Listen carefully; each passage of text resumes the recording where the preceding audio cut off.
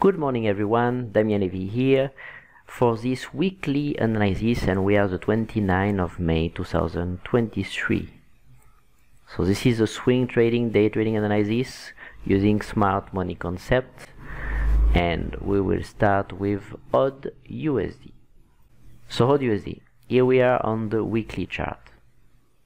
There was a kind of nice impulsive move going up and then there is an inefficiency right here and an order block this weekly candle right here. So last week it touched the top of this order block from the weekly was not able to close below and we will switch on the daily chart to see what happened there. On the daily chart we can see there is an order block here right here and it's a huge zone of support and resistance with multiple rejection there that's why when on Thursday the candlestick touched the level right here. So this is Thursday and this was Friday. And I will explain to you how we took this specific trade. So we went on the 15 minute chart. This was Thursday bottom. And then on Friday there is a stop hunt of the low right here and then there is a change in character right there with this spike. So the entry was right here stop loss below and this one made 4 reward already and it's still running because I would expect more reward on this one okay? So this is a 4 hour chart on USD and the candlestick are not very strong still going up. So my target profit are around here. Now from the daily perspective we are still in a beautiful downtrend and you can see the candlestick are pretty impulsive going down. Beautiful candlestick. So there is a zone of support and resistance here plus an inefficiency. And then here at the top there is a strong level as well for rejection. So if we would see this week a nice rejection from this zone and there is also the 50 EMA on the forward chart additional confluence then there might be a trade uh, a beautiful trade and the trend is very strong going down so this level for a sell, those two levels are pretty nice. Now let's look at gold. Gold, there was a lot of compression here. All those zone of demand has been taken out and the liquidity was taken out a few weeks ago. There was a trade, a winning trade here. And now we arrive at a zone where there is an order block with an inefficiency above it, a daily order block right here. And this is uh, as well a zone of support, a strong zone of support on the daily chart right here. If we look at the weekly chart, we have a weekly support zone right here around those two levels at the bottom and we have on the weekly an inefficiency between this spike right here and this order block right here.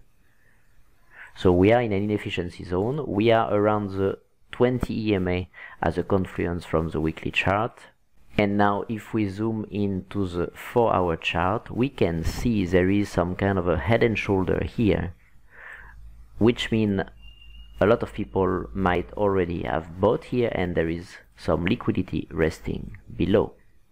So once this liquidity is taken out we will have eventually a nice opportunity for a buy. So you can go into my telegram channel to get my signal when I will buy about this might not be today might be tomorrow or the day after that. And then from the daily chart we can see we have a nice impulsive move with two nice candles going down. And I have a zone a strong zone of support and resistance just above. So this zone right here is a good level for a sell as well. And it is the daily line chart order block right here. So on gold there is a nice opportunity eventually for a buy and a sell right there. Euro USD on the daily chart and on the weekly we are on the weekly only we are in an uptrend okay? This is an uptrend weekly not a very strong one because the price is going up down as a compression which means weakness. Now price is coming back and around the 200 EMA a very strong level from the institution. And we have a strong level of resistance right here that was a support before right there and most of the time price succeed to go through this zone to the bottom of this zone So what I would expect, there was liquidity created here. There is a doji here, which means there is a lot of stop losses below this doji and above it, which means liquidity. And there was liquidity created as well on Thursday right here that was taken out on Friday. So what I would expect is a run on liquidity on the downside. And if there is a nice 15 minute change of character here, then you can eventually buy. And this looks like a beautiful trade as well. Now, from the daily perspective, the trend is not very strong going down, so the only levels that really attract my attention for a sell is this strong level of support and resistance right here and this order block above it, daily order block above it. That would be in a premium zone for a sell. Let's look now at USD CHF. So USD CHF, we have a weekly strong move going down right there, and we have a huge level of support and resistance right here. So this level has been tapped one time here, took the liquidity on Thursday and Friday and rejected a little bit. But what I would expect since we're at the beginning of the week is another tap into this zone and then a sell off from there.